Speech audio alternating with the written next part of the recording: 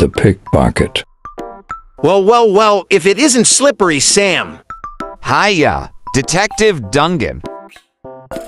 So, you're out of jail. Hum, well, better keep your nose clean. Slippery Sam, or you won't be for long. Sure, sure, Duggan.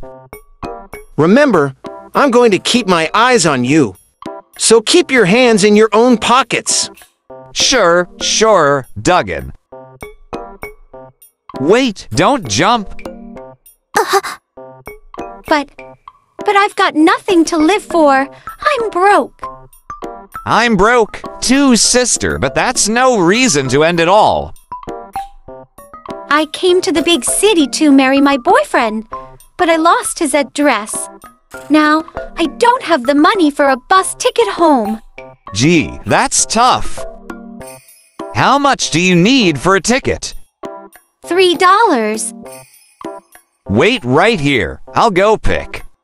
I mean, borrow some money for you. Golly, you are swell. I know. I promised Duggan I won't pick any more pockets. But this is an emergency. Oops, sorry. Well, he didn't have any dough on him. But this watch shoe bring in three dollars. My, er, hey, friend was short of cash. But he gave me this watch to pawn. How very nice of him.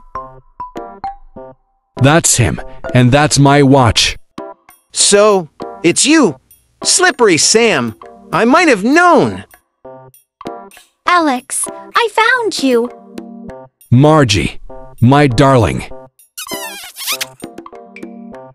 Alex, don't let him arrest that man. He saved my life. Do you hear that?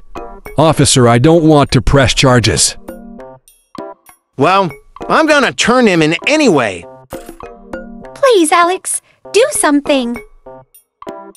Look, you must have a birthday coming up this year. So suppose you accept this watch as a present from me. Well, since you put it that way, okay.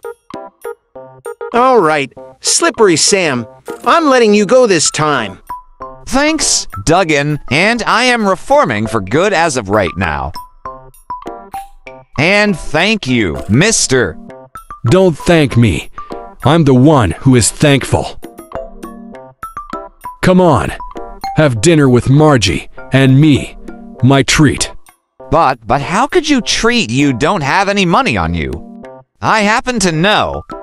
Oh, wait. First, I want to give you a little wedding present. My watch.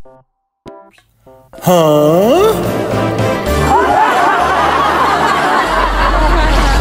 Subscribe